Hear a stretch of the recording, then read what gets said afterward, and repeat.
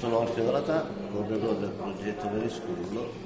Veri School è un progetto cofinanziato dalla Comunità Europea nell'ambito delle attività dimostrative del programma di innovazione e che ha come obiettivo lo sviluppo di un navigatore energetico. Il navigatore energetico guida uh, tutte le persone coinvolte nella gestione del programma di gestione dell'energia all'interno delle scuole e vuole assistere gli amministratori locali che hanno solitamente il compito di prendere decisioni sugli investimenti e i dirigenti scolastici che nell'ambito della loro autonomia devono implementare o scegliere delle azioni di risanamento, gli energy manager e i facility manager che hanno il compito poi di, di attuare.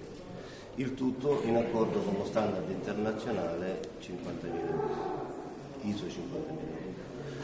Il navigatore energetico è già stato sviluppato nella sua versione prototipale ed installato nelle quattro scuole pilota, che sono due in Italia, all'Esa, provincia di Novara e Genova, in Bulgaria a Plovdiv e in Portogallo a Lisbona. Attualmente siamo nella fase di selezione degli scenari di ottimizzazione che il navigatore ci offre e nella loro implementazione seguendo lo standard ISO 50.000.